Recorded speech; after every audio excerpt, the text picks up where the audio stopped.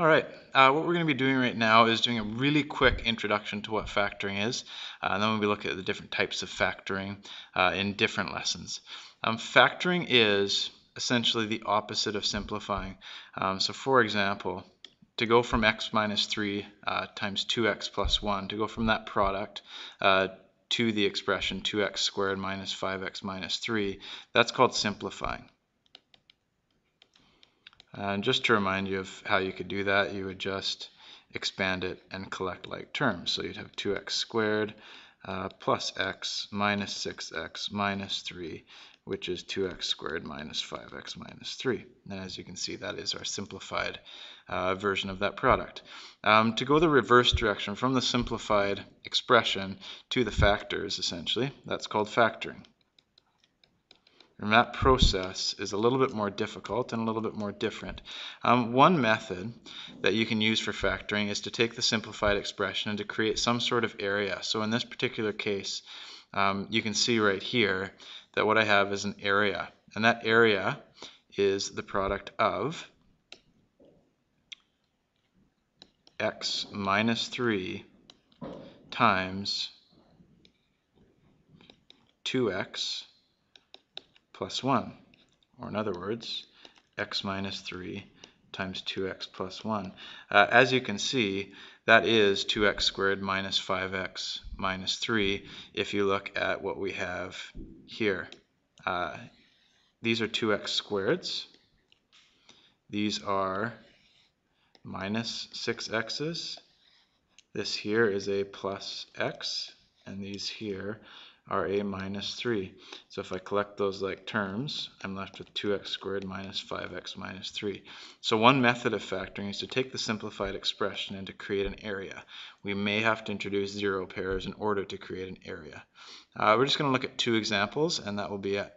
Um, as our first example, it says factor the following and check by simplifying. We're going to factor the expression 2x minus 6. Uh, so what we're going to do is take these two x's and the minus 6 and see if we can create an area. In this particular case, uh, to do that, here's what we would do. Uh, we don't need any extra algebra tiles to create this area. Our area would look something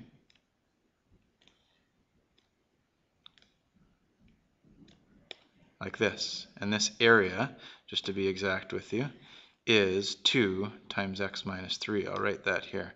This is 2, and this here is x minus 3. So our factors are 2 and x minus 3. Um, the way we can check that is again by simplifying. If we simplify this, we would get 2x minus 6, and as you can see, that's the same as the simplified expression. So here, 2 times x minus 3, that's called your factored form. Uh, if we look at one that's slightly more difficult, and we'll get into more difficult ones as we move along, uh, if it says factor x squared plus 2x minus 8, I have an x squared, 2 x's, and minus 8 here. Uh, if we try to create an area properly, you'll see that it's actually not completely, at the moment, possible. Um, let me show you kind of how we're going to create that area. First thing we're going to do is uh, if I could do it properly.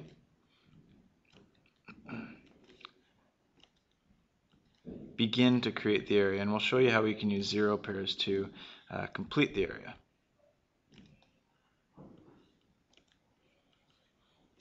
Uh, so at this particular moment, uh, you can see that I'm starting to create an area.